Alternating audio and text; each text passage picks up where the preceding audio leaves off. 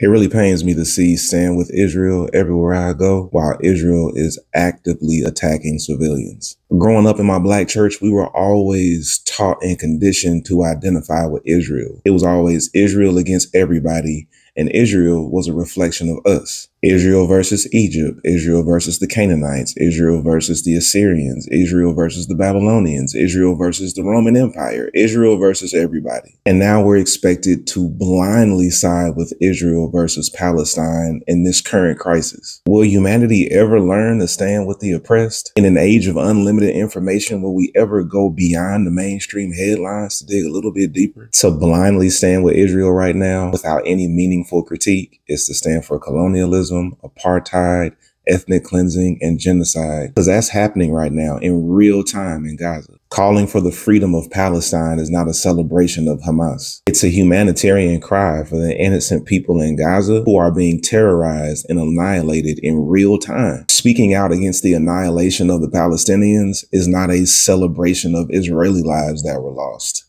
it's well documented that Israel clearly has the upper hand in this situation. Like my man said, if you have the power to cut off your enemy's food, water, and energy and attack them at your leisure, you're the bad guy. Blind allegiance to anybody is problematic. Judge people, judge institution, judge governments by the fruit they bear, not how they identify.